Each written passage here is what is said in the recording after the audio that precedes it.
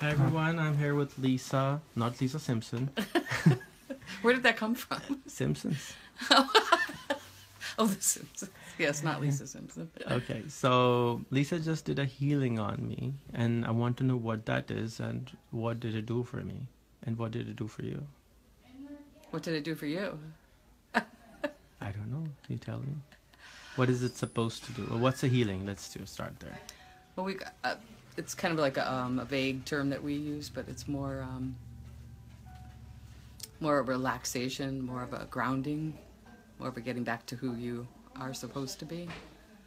Um, I also get little images or words because I'm a word person, so I always get a word.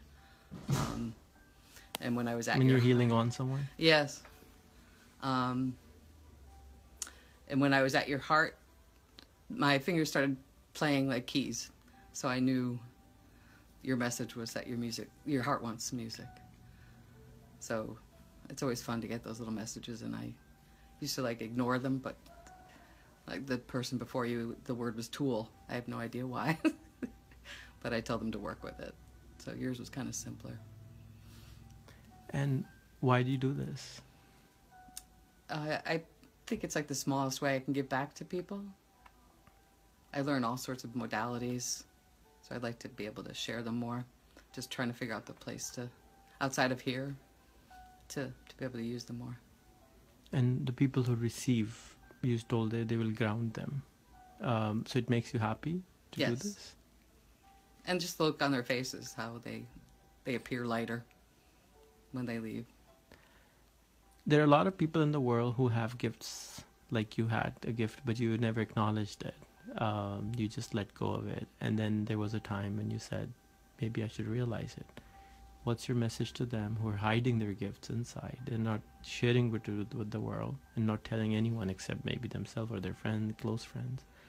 I'm still at the point where I want to share my gifts more than I do, but I would always say like it's it's your reason for being here, and if you don't, your yours is unique, and if you don't share yours, then it will die with you. So share it with the world so that they can experience a piece of you and you can experience a piece of them at the same time. And what's your definition of God?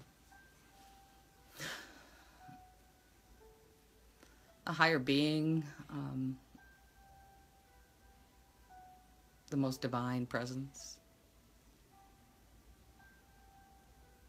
It's something that I think you search for every day to find the perfect definition, and since words can't describe them, You're a word person.